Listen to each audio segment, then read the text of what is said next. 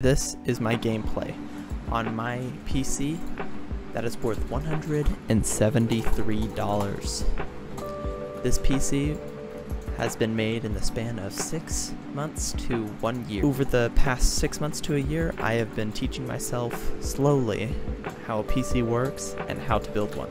Any tips on how to get better, how to upgrade my PC even more, how to get me better FPS, or stable FPS, please let me know. I'll enjoy the video. Please like and subscribe. Also, at the end of the video, my specs will be there and in the description. Thank you.